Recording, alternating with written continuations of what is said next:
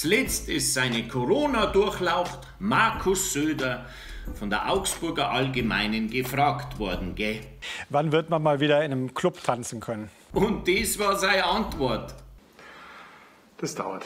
Aber Sie können ja zum Beispiel zu Hause mit Ihrer Partnerin tanzen.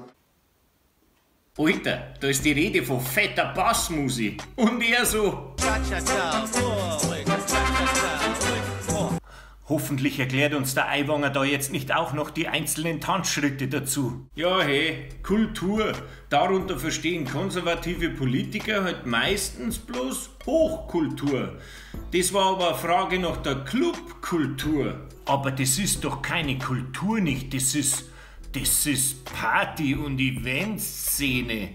Das sind nur psuffene Randalierer. Er gibt sich zwar recht landesväterlich verständnisvoll an der Stelle, aber er kapiert die Dimension der Frage nicht. Auch an der Clubkultur hängen Existenzen dran. Und zwar gar nicht mal so wenige. Wenn ich zum Beispiel Konzerte spiele, dann spiele ich die hauptsächlich in Clubs, weil bei mir wird auch getanzt. Das ist ein super Platz für meine Musik.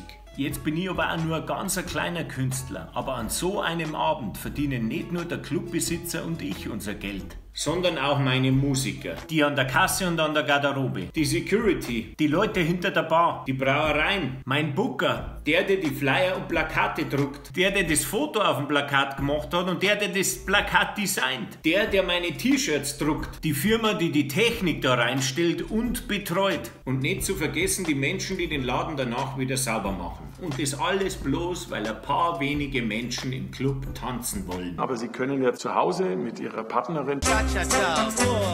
Vielleicht hat der Söder bei der Antwort aber auch so eine Waldorfnummer im Kopf gehabt.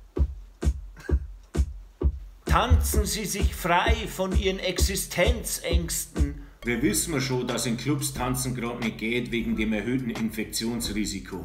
Viele haben sich sowieso schon damit abgefunden, ein Bauernopfer der Pandemie zu werden. Ich denke mir schon von Anfang an, hilf dir selbst, dann hilft dir Markus. Mei.